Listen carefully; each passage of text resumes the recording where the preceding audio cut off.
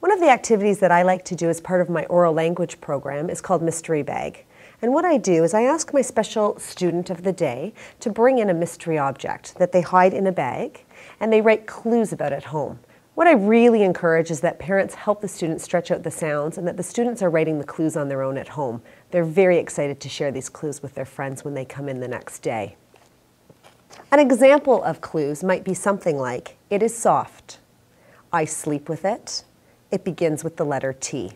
One of the neat activities we do as an extension to this is we have question sticks. And the question sticks come in this cute little smiley face cup. And on the sticks, we've written question starters. Why? What? How? Is?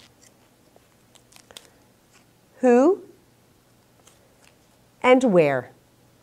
Throughout the year, we like to add more and more question starters. And actually, the students are very eager to share some of the question starters that they'd like to see in the jar. What the special student does is they'll pick three friends to come up and pick a question stick.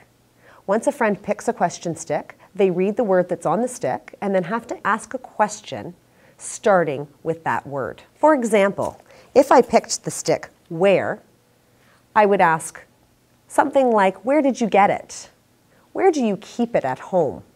That allows the extra special student to talk more about the object that they've selected and why it's important to them.